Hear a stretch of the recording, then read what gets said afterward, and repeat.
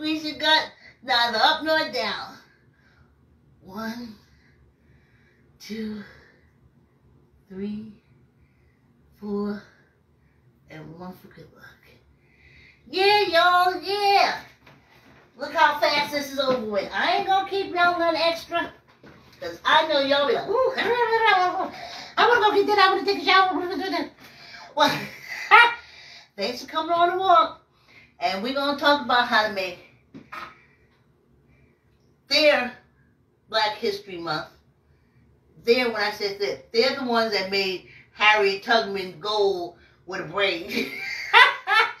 because Harriet Tubman is a part of these European Africans on this penal colony. Because they're European Africans. But that's how they want to celebrate their Black History Month. We need something more. We have a we have the generate the we have the energy of that celebration, the awakening of our ancestors.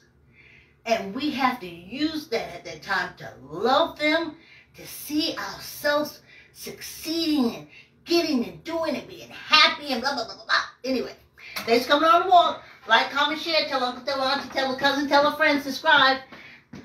Have a good evening, and I'll see you tomorrow.